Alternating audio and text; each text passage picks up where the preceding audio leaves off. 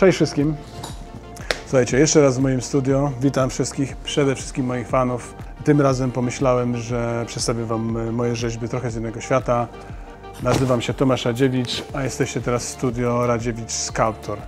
Tak jak wspominałem we wcześniejszych filmikach, oczywiście poruszam różne e, tematy w swoich e, rzeźbach. Kolejny na dzisiaj to jest oczywiście alieny. Nie tylko oczywiście ten alien z najbardziej rozpoznawanego filmu Alien Covenant, czy w ogóle tej serii Alien, ale generalnie tworzę różne alieny. Znaki popkultury to jeden z tych modeli. To jest model zrobiony z NSP. Y, Jest to model koncepcyjny, który zrobiłem po prostu tak dla fanów. No niestety nigdy go nie odlałem. Ten model jest na tyle złożony, że szczerze mówiąc nie mam cierpliwości, żeby to odlewać. Mam go tylko dla siebie na swojej półce. No i fajnie, że mogę go dzisiaj Wam pokazać.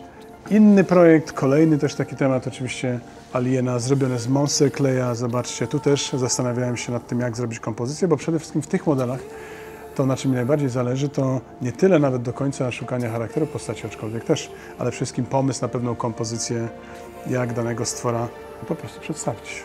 Jeszcze inny z kolei stwór wykonany podobną techniką, z podobnego materiału, też ciągle w takim charakterze szkicowym. To są koncepty, które ja robię dla siebie, jako rodzaj takiego fanu, zabawy, które mam nadzieję, że już część z Was widziała.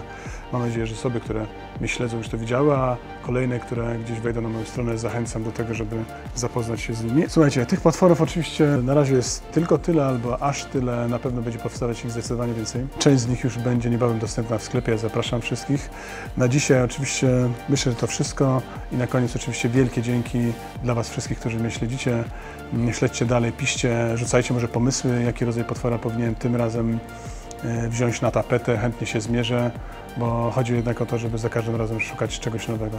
Dzięki za, e, za tą chwilę uwagi tutaj ze mną i zapraszam oczywiście do śledzenia dalej tego, co robię.